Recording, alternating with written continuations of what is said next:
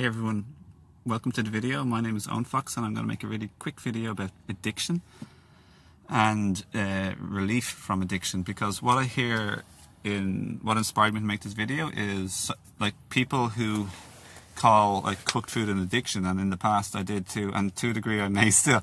But I was going to say like everything is an addiction. You, I don't want to single any person out like me oh I'm addicted oh you are addicted or I don't want to single like a thing out oh you or me are addicted to this or to that. Because what happens then psychologically everybody is we start picking we create higher division and hierarchy and we create heaviness and such intensity of seriousness like you're addicted to this drug, you're addicted to this substance, you're addicted to that habit, you're addicted to... So what happens is people stop having fun in life and become so heavy instead of light-hearted. So what I'd really like to people and, and we become snobs and judging people or ourselves if we start going on about addiction too much or we start identifying as an addict because I see a lot of like raw foodists or people like say cooked food is an addiction and then people start thinking or feeling like tense about the topic. Like they start watching each other. Like you're addicted. Look what you're addicted to, and they mightn't even say, "Look what you're addicted to," but they're thinking about it, and it creates a whole lot of trouble in our in our own energy field. So what I want to say is, we're all addicted to something at least, or um, no one's addicted to anything. So, like you could even say, like food in general is an addict compared to a breatharian, like because generally people feel better when on juices or even like when children are on baby milk, for example. But you really want to start going into all this in too much detail? Like, if you do, go ahead, but just be light-hearted and enjoy this whole topic, everyone. Don't be creating a division between you and them or getting like really judgmental and resistant. Because when you get resistant, then you create friction in your energy field um, if you want to have a higher vibration, be happier in life, you got to get more light-hearted about stuff. Sure, you can recognize the seriousness of topics to a degree, but just don't create the division or the identification like me, them, this, that. Um, too heavily or strong, like cement, like like like a big cement covering you and stopping your joy in life. Here's my suggestion: stop the divisions, and if you want to change a habit or pattern in your life, work on emotional healing and mental healing, like mental, like the Buddha, what you think you become, what you think about you bring about. Thought becomes things, and what you envision you can create. So what thoughts are, are emotion creators. Emotions are, are hold a very strong vibrational force. They're created by thoughts. So in my life, this has been true as I've raised, as I've healed my mind and my thoughts and my emotions from the trauma in the past. I've been able to switch my my habits and patterns, or even you call it addictive behaviors if you feel like it. But never say, like, never think you're better than another person. They're addicted. Like, don't be watching people or watching yourself too much. Life's short. We didn't come here to be perfect, and who is perfect anyway on the planet? Nobody. Like, you want to be happy and joyful. Sure, I've identified through my own experience what makes me feel better emotionally and high vibrational okay? And that's like a mixture of physical things and mental things make my emotional well-being.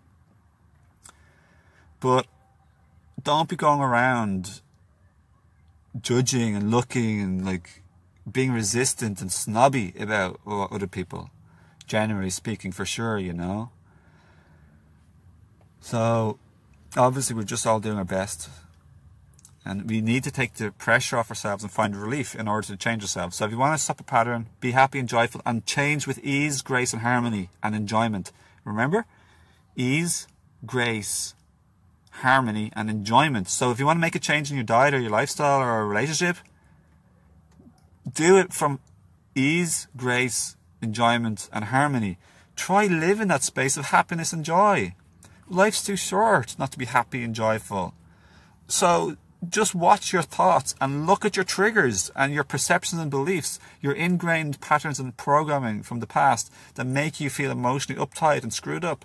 See if you can let them go and you'll be so much happier in life. Have fun, climb a tree. Take a deep breath.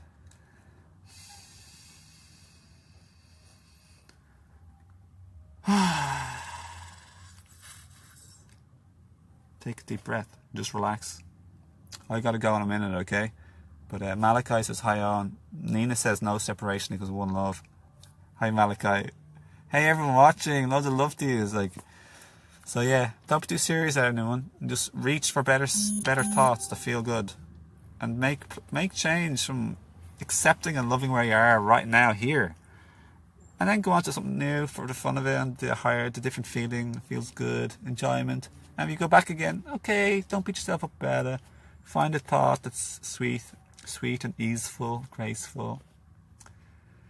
So let's have love and compassion on ourselves and each other. And we can do this, everyone. We are doing it. We seriously can do this. We're all on our paths. There's no, there's no, you can't get it wrong and you can never get it done. It's a continuous forward moving journey of learning and experiencing. And as we experience, we learn because we learn what we don't want and we learn what we do want. And as we learn from every experience what we do want and don't want more, what we do want is created in a field of what our soul wants to experience more. So we're getting ready to receive it.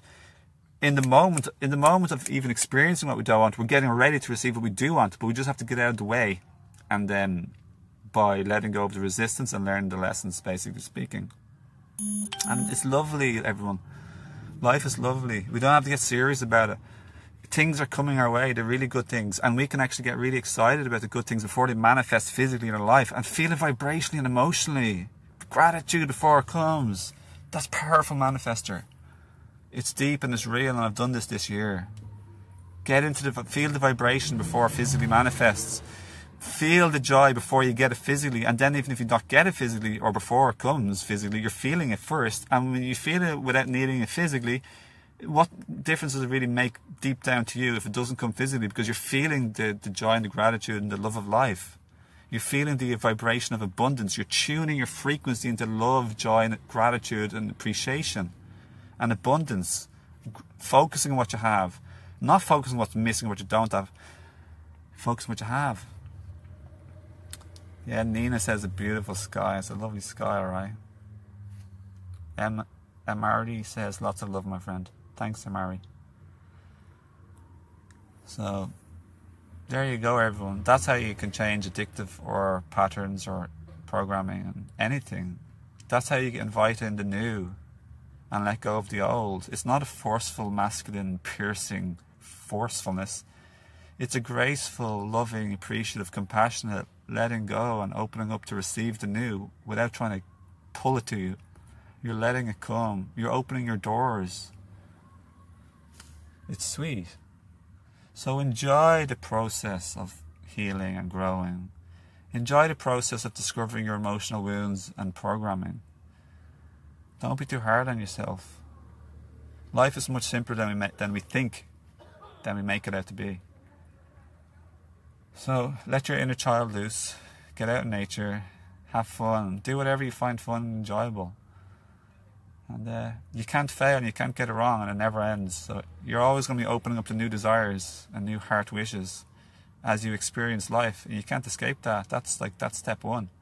Step two is like basically allowing through thinking carefully and tuning your vibration, tuning your thoughts and your emotions into a certain feeling. And then, as you do this, synchronicities will occur and magic will sort of happen and you'll be aligned at the right place, the right time, with the right people. And these so called opportunities and coincidences will happen to you. So, yeah, that's it.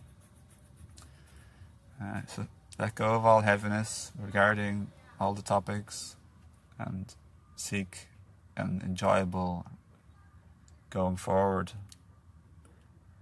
Alright, everyone.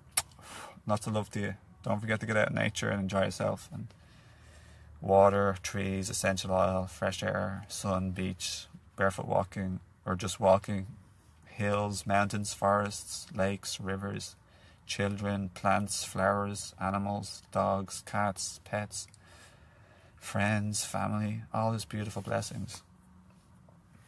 Life's a gift and uh, it's so beautiful.